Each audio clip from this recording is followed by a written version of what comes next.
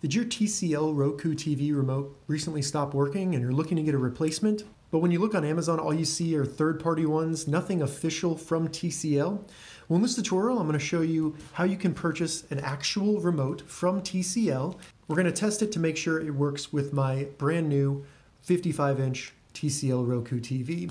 And check the description if you want a direct link to this remote. It's only $11, and as you can see, it is from the TCL store, so it's directly from them. The only catch about this is in the description, it says it's compatible with all 2014 and 2015 models. That's why I'll be doing a test on my Class 4 TCL 55-inch TV.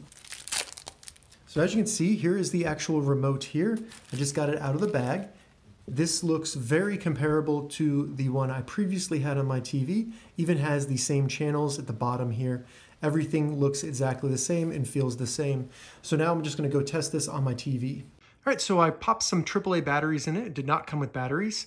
And now we'll test it out on a TCL Roku TV Class 4 55 inch that I purchased from Best Buy in December of 2022.